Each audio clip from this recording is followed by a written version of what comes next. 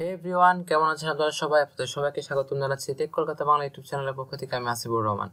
তো আজকে আমরা হাজির হলাম হচ্ছে ওয়েব ডেভেলপমেন্ট বেসিক সিরিজের অষ্টম টিউটোরিয়াল নিয়ে এবং আজকে থেকে আমরা মূলত শুরু করব আমাদের CSS okay so basic CSS আজকে থেকে শুরু হবে এবং আজকে থেকে আমরা সিএসএস কি, কেন, কীভাবে করা হয় এবং কোন কোন উপায়ে সিএসএস করা যায় সেগুলো জানা শুরু করব এবং এই ধারাবাহিকতা বজায় রেখে আমরা সিএসএস নিয়ে পাঁচ থেকে ছয়টি বেসিক টিউটোরিয়াল আপনাদের জন্য আপলোড করব। সেগুলো দেখার মাধ্যমে তাদের সিএসএস সম্পর্কে একেবারে ধারণা নেই, তাদের সিএসএস সম্পর্কে ধারণা জন্মাবে এবং খুব সহজে আপনি অনায়াসে আপনার ওয়েব ডেভেলপমেন্টে সিএসএসকে ইউজ করতে পারবেন। ওকে তো যারা ওয়েব ডেভেলপমেন্ট শিখছেন নিউ এবং আমাদের চ্যানেল প্রথম দেখছেন, তাদের সবাইকে রিকোয়েস্ট করব আমাদের চ্যানেলে সাবস্ক্রাইব করে রাখুন কারণ আমাদের চ্যানেলে নিয়মিত ওয়েব ডেভেলপমেন্ট ওয়েব ডেভেলপমেন্ট নিয়ে ভিডিও আপলোড দেওয়া হয় এবং যারা এই ভিডিওটি প্রথম চেক করছে, তাদের সবাইকে রিকোয়েস্ট করব ভিডিও ডিসক্রিপশনে একটি প্লে লিস্টের লিঙ্ক দেওয়া আছে, সেই প্লে লিস্টটা চেক করে আসবেন। যদি আপনি ওয়েব ডেভেলপমেন্টে নিউ হয়ে থাকেন এবং আপনার যদি ইচ্ছা থাকে, আপনি ওয়েব ডেভেলপমেন্ট শিখবেন। কেননা তাতে আমাদের ধারাবাহিকভাবে আগে যে সাতটি টিউটোরিয়াল আপলোড হয়েছে, সেগুলোর লিস্ট দেওয়া আছে। ওকে সো আপনারা সেটা চেক করে আসবেন। তো, আজকে আমরা শুরু করব হচ্ছে সিএসএস নিয়ে। তো সিএসএস জিনিসটা কি? সিএসএস এর ফুল মিনিং হচ্ছে ক্যাসকেডিং স্টাইল শিট আমরা সবাই জানি যে আমাদের ওয়েবসাইটের ইনস্টল করার জন্য সিএসএস ইউজ করা হয়। এবং এসটিএমএল ইউজ করে আমরা যে ওয়েবসাইটটা তৈরি করি যে স্ট্যাটিক ওয়েবসাইটটা তৈরি করি সেটাকে বিভিন্ন ধরনের স্টাইল দিয়ে খুব সুন্দর করে তোলার জন্য মূলত সিএসএস ইউজ করা হয় ওকে আর সিএসএস এর জন্য মূলত সিএসএস মূলত তিন ভাবে করা যায় একটা হচ্ছে ইনলাইন সিএসএস একটা হচ্ছে ইন্টারনাল সিএসএস আর একটা হচ্ছে এক্সটার্নাল সিএসএস ওকে তো আমি প্রত্যেকটা টাইপের সিএসএস আপনাদেরকে প্রথমে দেখাবো তারপর বলব যে ওয়েব ডেভেলপমেন্টের ক্ষেত্রে আমরা কোন সিএসএসটা সবচেয়ে বেশি ব্যবহার করি ওকে ইনলাইন সিএসএস মানে হচ্ছে প্রত্যেকটা লাইনে গিয়ে সিএসএস দেওয়া তো সিএসএসটা করা হয় মূলত প্রত্যেকটি এইচটিএমএল এলিমেন্টের জন্য। তো এখানে দেখেন আমরা একটি এইচটিএমএল ডকুমেন্ট ওপেন করে রাখছি, যেখানে রয়েছে হচ্ছে হেড এবং বডি সেকশন এবং বডি সেকশনের ভিতরে রয়েছে হচ্ছে এইচ টু ট্যাগ এবং প্যারাগ্রাফ ট্যাগ আমরা জাস্ট এইচ টু ট্যাগ নিয়েছি এবং একটি প্যারাগ্রাফ ট্যাগ নিয়েছি। এখন আমরা যদি চাই যে এখানে ইনলাইন সিএসএস হ্যাঁ প্রয়োগ করব, সেক্ষেত্রে আমাদের করতে হবে হচ্ছে না হয় এই এইচ টু ট্যাগের ওপর না হয় এই প্যারাগ্রাফ ট্যাগের ওপর না হয় পুরো এই বডির ওপর ওকে না হয় এই এর ওপর তো কারণ সিএসএস করা হচ্ছে এইচটিএমএল এলিমেন্টের ওপর নির্দিষ্ট কোনো একটি এইচটিএমএল এলিমেন্টের ওপর আমরা সিএসএস কে প্রয়োগ করি। তো আমরা যদি ইনলাইন সিএসএস করতে যাই, তাহলে ইনলাইন সিএসএস স্ট্রাকচারটা হচ্ছে এরকম। আমাদেরকে প্রথমে স্টাইল অ্যাট্রিবিউট লিখতে হবে। স্টাইল অ্যাট্রিবিউট লেখার পর এখন সিএসএস এর বিভিন্ন প্রপার্টিস রয়েছে। তো এর যে বিভিন্ন প্রপার্টিস রয়েছে, আমরা যে প্রপার্টিসটা ইউজ করতে চাই, সেই প্রপার্টিসটার নাম লিখে তার ভ্যালুটা আমাদেরকে বলে দিতে হবে। ওকে যেমন ধরুন, আমরা যদি চাই যে এই হেডিং এর যে ফন্ট সাইজ আছে, সেটা চেঞ্জ হবে, তো আমরা ফন্ট সাইজ লিখব, তারপর এটা একটা সাইজ দিয়ে দেবো, ধরুন আমরা যদি হচ্ছে ফিফটি ফাইভ পিক্সেল তো দিয়ে দিলাম আমরা, তারপর আমাদেরকে কলন দিতে হবে। এরকম ভাবে আমরা যত ধরনের স্টাইল চাই, তত ধরনের স্টাইল দিয়ে দেবো একটা পর একটা। জাস্ট নিয়ম হচ্ছে যে প্রপার্টিসটা আমরা চাই, সেই প্রপার্টিসটা লিখে তার ভ্যালুটা লিখব, তারপর কলন দিব তারপর স্পেস দিয়ে আরেকটা লিখব। তারপর আরেকটা আরেকটা আরেকটা। এভাবে আমরা ইনলাইন চেঞ্জ করতে পারি ওকে তো ধরুন আমরা চাই এটা কালার চেঞ্জ হবে, তো আমরা কালার লিখলাম। তো কালার লিখে আমরা একটা কালার এখান থেকে সিলেক্ট করে দিতে পারি orange red okay orange red আমরা সিলেক্ট করে দিলাম। তো এইভাবে আমরা কালার দিতে পারলাম। তো এটা এখন সেভ করে আমরা যদি ব্রাউজারে গিয়ে রিফ্রেশ তাহলে দেখতে পাবেন যে এটা একই সেই স্টাইলটা পেয়ে গেছে। তো এইভাবে ইনলাইন সিএসএস দেওয়া হয়। কিন্তু ইনলাইন সিএসএস দেওয়ার ঝামেলা দেখেন আপনারা, যদি এইভাবে আমরা কোডিং করি, তাহলে আমাদের একটি ওয়েবসাইটে কোড অসংখ্য হয়, একটি পূর্ণাঙ্গ ওয়েবসাইটে কোড অসংখ্য হয়। তো প্রত্যেকটি লাইনে যদি আমরা এভাবে ইনলাইন সিএসএসটা দিই বা স্টাইল যদি করা শুরু করি, সেক্ষেত্রে আমাদের এইচটিএমএল এলিমেন্টটা খুঁজে পাওয়ায় সময় অসম্ভব হয়ে যাবে। জাস্ট সিএসএস দেখা যাবে যে এইচটিএমএল ফাইলের মধ্যে ভরে গেছে। তো এরকম যেন হাবি জাবি বিশ্রী অবস্থার তৈরি না হয়, সেজন্য আমরা ইনলাইন সিএসএসটাকে বর্জন করি। ওকে তো আমরা মূলত মেন প্রজেক্টে কখনো ইনলাইন সিএসএস ইউজ করি না। তাও আমি আপনাকে দেখালাম যে কীভাবে ইনলাইন সিএসএস করতে হয়। ইনলাইন সিএসএস করার জন্য জাস্ট আপনাকে স্টাইলের স্টাইল নামক অ্যাট্রিবিউট নিতে হবে যে ট্যাগের ভিতরে আপনি সিএসএস দিতে যাচ্ছেন, সেই ট্যাগের ভিতরে। তারপর আপনাকে just properties value support semicolon দিবেন, তারপর আবার প্রপার্টিস ভ্যালু এভাবে দিয়ে সিএসএস করতে হবে ওকে তো আমরা মূলত এই সিএসএসটাই ব্যবহার করব না। ইনলাইন সিএসএসটা আমাদের ওয়েব ডেভেলপমেন্টের কোনো প্রজেক্টে আমরা ব্যবহার করব না ওকে তো আমরা এটা কেটে দিই। এখন আমরা দেখব হচ্ছে ইন্টারনাল সিএসএস তো ইন্টারনাল সিএসএসটা করা হয় হচ্ছে হেড সেকশনের ভিতরে। হেড সেকশনের ভিতরে স্টাইল নামক আমরা একটি ট্যাগ নিই এবং স্টাইল নামক ট্যাগের ভিতরে পরবর্তীতে আমরা প্রত্যেকটা প্রত্যেকটা এই যে এইচটিএমএল এলিমেন্ট আছে তাদেরকে সিলেক্ট করার মাধ্যমে তাদেরকে স্টাইল দিই। যেমন ধরুন আমরা এখানে এবার এস টু স্টাইল দেবো, তো এস টু লিখলাম এস টু সিলেক্ট হয়ে গেল। এখন আমরা সেকেন্ড প্যাকেট ইউজ করব এবং সেকেন্ড প্যাকেট ইউজ করার পর এখানে বিভিন্ন ধরনের স্টাইল দিয়ে দেবো। যেমন ধরুন এখানে আমরা যদি ফন্ট সাইজ দিতে চাই, সেক্ষেত্রে ফন্ট সাইজ আমরা আবারও দিলাম ফিফটি ফাইভ পিক্সেল তারপর আমরা কালার দিতে চাই কালার একটা দিলাম হচ্ছে আমরা এখানে আবার একটা দিই, তারপর একটা চেঞ্জ করব এখান থেকে। ওকে অ্যাকোয়া কালার দিলাম এবং এটাকে আমরা এখন এখান থেকে কুইক এডিট করে চেঞ্জ করে দিব। ওকে যে কোনো কালার আমরা এখান থেকে দিয়ে দিতে পারি এটা হচ্ছে ব্যাকেটসের সুবিধা। আমরা দিয়ে দিলাম।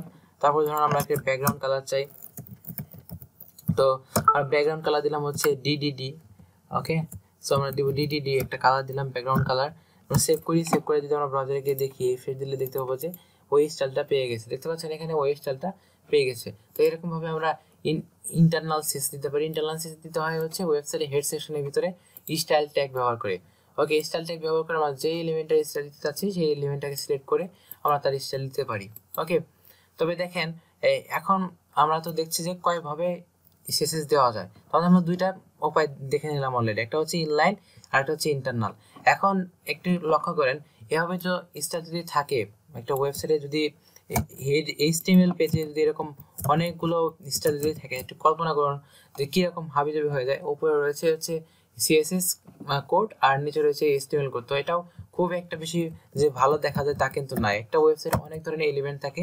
তো প্রত্যেকটা এলিমেন্টের স্টাইল যদি আমরা একই পেজে দিয়ে দিই, সেক্ষেত্রে সেটাও কোডের সৌন্দর্য নষ্ট করে এবং কোডটা ভালো দেখা যায় না। তাই আমরা এই ইন্টারনাল সিএসএসটাকেও ইউজ করব না। ওকে অবশেষে যে সিএসএসটা রয়েছে, সেটা হচ্ছে এক্সটার্নাল সিএসএস এবং এটাই মূলত যে কোনো ওয়েব ডেভেলপমেন্ট প্রজেক্টে ইউজ করা হয়। ওকে তো আমরাও আমাদের ওয়েব ডেভেলপমেন্ট প্রজেক্টে সবসময় এক্সটার্নাল সিএসএসকেই ইউজ করব। তবে আমরা জেনে নিলাম যে কীভাবে ইনলাইন এবং ইন্টারনাল সিএসএস ইউজ করা যায়।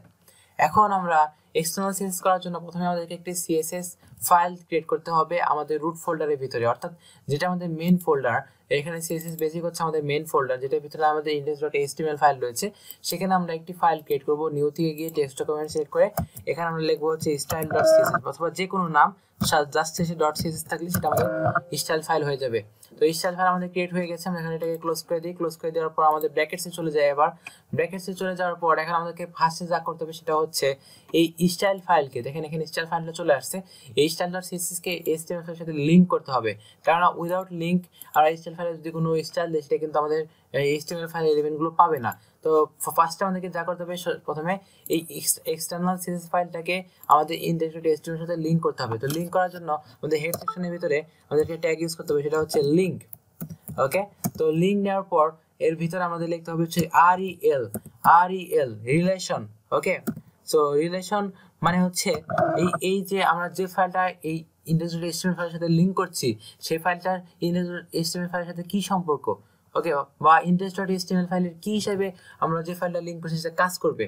তো এখানে আমরা স্টাইল স্টাইল শিটটা লিঙ্ক করছি, তাই না? স্টাইল ফাইলটা লিঙ্ক করছি, তাহলে এটা স্টাইল ফাইলটা ডট এইচটিএমএল কি হিসেবে কাজ করবে? অবশ্যই স্টাইল শিট হিসেবে কাজ করবে। তো আমরা লিখে দেবো হচ্ছে link relation style sheet okay sorry style sheet তারপর লিখব হচ্ছে, আমাদের লিখে দিতে হবে এরপরে ফাইলটা কোথায় আছে? আমাদের রিলেশনটা বলে দেওয়ার পর লিখতে হবে ফাইলটা কোথায় আছে? তো এই আরডিএফ ইউজ করে আমরা ফাইলটা ডেস্টিনেশন বলে দেব। ফাইলটা ডেস্টিনেশন হচ্ছে ফাইলটার নাম জাস্ট স্টাইল ডট সিএসএস এখন যদি ফাইলটা কোনো ফোল্ডারের ভিতরে থাকতে, আমরা সবাই জানি যে কীভাবে কোনো ফোল্ডারের ভিতরে থাকলে সেক্ষেত্রে সে ফাইলটাকে সিলেক্ট করতে হয়। প্রথমে ফোল্ডারের নাম লিখতে হয়, তারপর ফাইলটার নাম লিখলে সে ফাইলটা সিলেক্ট হয়ে যায়। আর ডিটেলস জানার জন্য আমাদের আগের ভিডিওগুলো আপনাদের চেক করতে হবে। আমরা আগের ভিডিওতে এই এই সম্পর্কে ডিটেলস বলেছি। যাই হোক এভাবে প্রথমে আমরা এই স্টাইল শিটকে আমাদের ইন্ডেক্স ডট ফাইলের সাথে লিঙ্ক করলাম। তো এখন এই স্টাইল শিটের ভিতরে আমরা যে স্টাইলগুলো দিব, সেগুলো হুবহু ভাবে আমাদের ইন্টারনেট এস্টিমেল ফাইলের সাথে পেয়ে যাবে। ইন্টারনেট এস্টিমেলে এই যে এস্টিমেল এলিমেন্ট সেগুলোতে পেয়ে যাবে। তার পরীক্ষা করার জন্য চলুন আমরা দেখে নিই। প্রথমে আমরা এস টুকে সিলেক্ট করলাম এখানে আবার। এস টুকে সিলেক্ট করার পর আমরা এটার কালার চেঞ্জ করে দেবো প্রথমে ওকে কালার চেঞ্জ করে আমরা এখান থেকে একটা কালার দিয়ে দিচ্ছি। তারপর এটাকে আমরা চেঞ্জ করে নেব এখান থেকে। কুইক রেটে গিয়ে? দেখে আমি একটু বলে দিচ্ছি। যে কোনো কালার কীভাবে চেঞ্জ করতে পারেন এখানে খুব সহজে। মাউসের রাইট বাটনে ক্লিক করবেন কালারের নামের উপর বা কালারের কোডের উপর। তারপর এখানে কুইক এডিট একটা অপশন চলে আসবে। এটা হচ্ছে ব্যাকেটসে খুবই সুবিধা। কুইক রেটে ক্লিক করলে দেখেন, এখানে আপনার কালার সোয়াসটা চলে আসলো। কালার কালার চলে আসলে। এখান থেকে আপনি যে কোনো কালার চাইলে সিলেক্ট করে দিতে পারছেন। ওকে তো আমরা দিয়ে দিলাম, একটা কালার দিয়ে দিলাম সেভ করি সেভ করে গিয়ে ব্রাউজারে গিয়ে দেখি রিফ্রেশে দেখি ওই কালারটাই চলে আসছে কিনা। হ্যাঁ এই কালারটাই চলে আসছে, তাই আমরা বুঝতে পারছি আমাদের সাইটটা আমাদের ইন্ডিয়ান এস্টিমেট ফাইলের সাথে স্টাইলার সিস ফাইলের লিঙ্ক হয়ে গেছে। এখন আমরা কালার দিলাম, তারপর আমরা ফন্ট সাইজটা চেঞ্জ করে দেখতে পারি টোয়েন্টি টোয়েন্টি না ফোর্টি ফাইভ পিক্সেল দিলাম আমরা। তারপর হচ্ছে ওকে তারপর হচ্ছে আমরা এটা একটা ব্যাকগ্রাউন্ড কালার দিতে পারি। ব্যাকগ্রাউন্ড কালার এটা আমরা আবারও ডিডিডি দিব। ওকে, আমরা ডিডিডি দিয়ে দিচ্ছি ডিডিডি আর তারপরে হচ্ছে আমরা দেখি কীরকম হলো। এখানে একটু রিফ্রেশ দিয়ে দেখি আমরা কীরকম হচ্ছে এটা, ওকে। তারপর আমরা চাইলে এটার টেক্সট টেক্সট ট্রান্সফর্ম দিতে পারি। টেক্সট ট্রান্সফর্ম দিলাম হচ্ছে আপার কেস তো এইগুলো কোনটার কি কাজ আমরা আপনাদেরকে আস্তে আস্তে দেখাবো। আজকে জাস্ট আপনারা এটাই শিখলেন যে কি কোন কোন ওয়েতে কোন কোন ওয়েতে আমাদের স্টাইলগুলো দেওয়া যায়। তো একটা হচ্ছে ইনলাইন একটা হচ্ছে ইন্টারনাল একটা হচ্ছে এক্সটার্নাল তো এক্সটার্নালটা সবসময় আমরা ইউজ করব, ওকে। ইনলাইন ইন্টারনাল কখনোই ইউজ করব না আমাদের সাইটে কেননা ইনলাইন ইন্টারনাল কখনোই স্ট্যান্ডার্ড কোডিং এর মধ্যে পড়ে না, কারণ সেটা আমাদের এইচটিএমএল কোডগুলোকে হাবিজাবির মতো করে দেয়।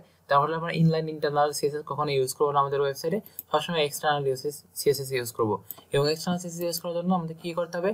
একটা স্টাইল শিট তৈরি করতে হবে। স্টাইল ডট সিএসএস নামে অথবা মেন ডট সিএসএস নামে জাস্ট সিএসএস দিয়ে যখন একটা স্টাইল ফাইল ক্রিয়েট করতে হবে, তারপর সেই ফাইলটাকে আমাদের এই ইন্ডেক্স ডট এসটিএম ফাইলের সাথে লিঙ্ক করতে হবে। অতপর আমরা যে স্টাইলই দিব না কেন, সেই স্টাইলটা আমাদের ওয়েবসাইটে পেয়ে যাবে।